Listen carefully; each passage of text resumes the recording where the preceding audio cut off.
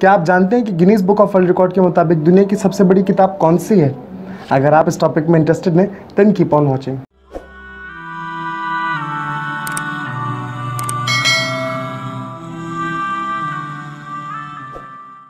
Bismillahirrahmanirrahim. Assalamu alaikum you all and peace upon humanity. My name is Dr. Moiz Jamshed and I welcome you all to my channel. मेरी जानब से प्यार और मोहब्बत भरा सलाम मेरी तमाम फैमिली के लिए आप जो भी हैं, आप जहाँ भी हैं, आप सब मेरी फैमिली हैं तो कैसे हैं आप सब? आई होप के सब बहुत अच्छा होगा एंड रजिस्ट पे कि सब बहुत अच्छा रहे। अगर आप मेरे चैनल पर नए हैं तो मैं आपको बताता चलूँ, इस चैनल पर हम इस्लाम का एक मुस्बित पहलू उजागर करते हैं और जदीद साइंसी तहकीक़ात को कुरान और हदीस की रोशनी में पेश करते हैं। तो अगर आप इस टॉपिक में इंटरेस्टेड हैं तो कंसीडर सब्सक्राइबिंग तो चलिए, अब बातें बहुत हो चुकी हैं। Let's get started with the video जैसा कि आज की वीडियो के टाइटल से आपको पता चल गया होगा, आज हमने ये डिस्कशन करना है कि दुनिया की सबसे बड़ी किताब कौन सी है? Guinness book of world record के मुताबिक।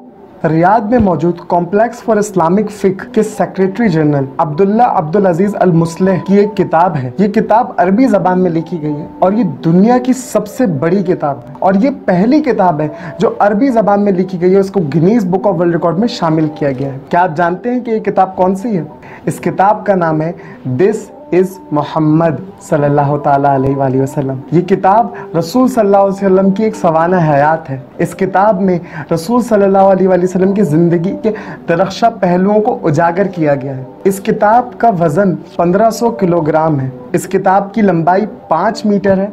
और इसकी चौड़ाई या वसत जो है, वो 8.06 मीटर है। ये किताब 431 सफ़ात पर मुश्तमिल है और इसको 300 कारकुनों ने मिलकर बनाया है। ना सिर्फ़ ये, बल्कि पूरी दुनिया से 15 साइंसदानों को इकट्ठा किया गया इस किताब को लिखने के लिए। और ये पूरी किताब नौ माह में मुकम्मल हुई। जब ये किताब नुमाइश के लिए ले जाई गई तो इसके साथ एक कैंपेन शुरू की गई, एक सिग्नेचर कैंपेन उस कैंपेन ने भी दुनिया में वर्ल्ड रिकॉर्ड बनाया।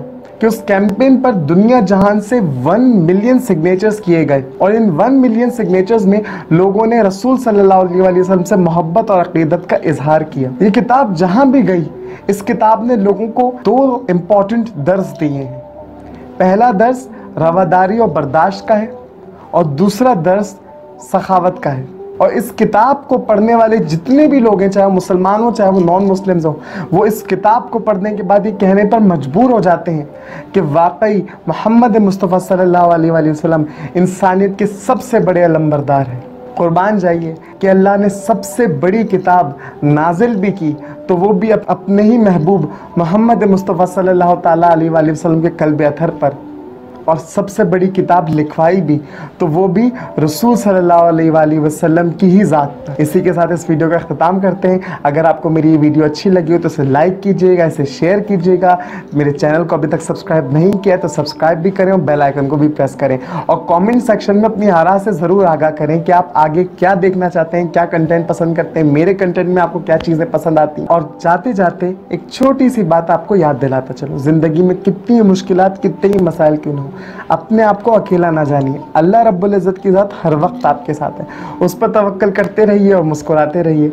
सुन्नत भी है और सदका जारिया भी। And guess what you look good to this is me doctor Mujam signing off वालेकुम you all and peace upon humanity